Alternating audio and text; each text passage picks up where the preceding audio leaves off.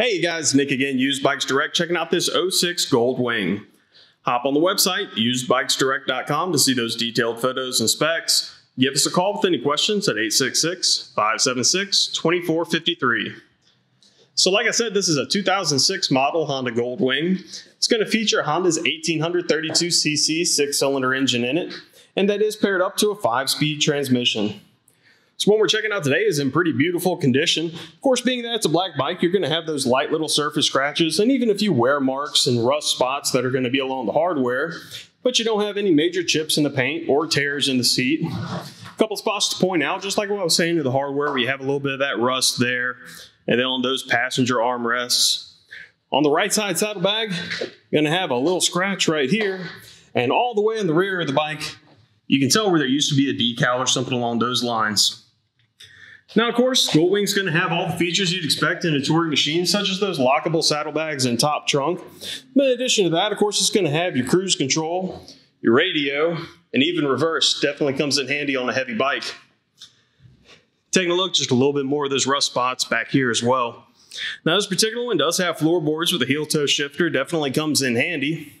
And as we come up top, we'll take a look at some of the controls of the bike. Of course, you're going to have radio and seat controls in the center, Above that, you're going to have your heated seat and heated grip. Now it's going to be for the rider.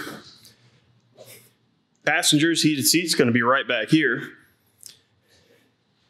On the left side, down low, you're going to have that headlight adjust and preload adjust.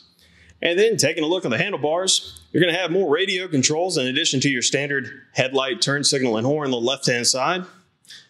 And over on the right, of course, you're going to have that kill switch starter button, but you're also going to have your cruise control and your reverse control. Now as you flip on the key, we'll take a look at the display here. So you're going to have a combination of analog and digital. Analog being on the top, of course, for your speedometer, tach, fuel. And then this digital readout underneath, that's going to have your radio. Now, if you notice, of course, it says zero miles right there. When this bike made it to us, the display was not working, so we did have to replace that. I wish the bike had zero miles on it, but of course, that's not the case.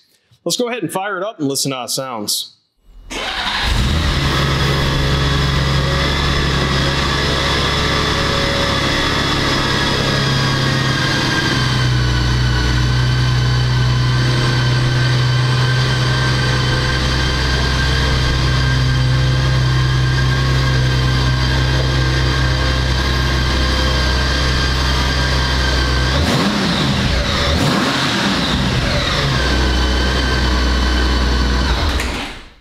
And of course, there it is, the quintessential touring machine that is the Honda Gold Wing.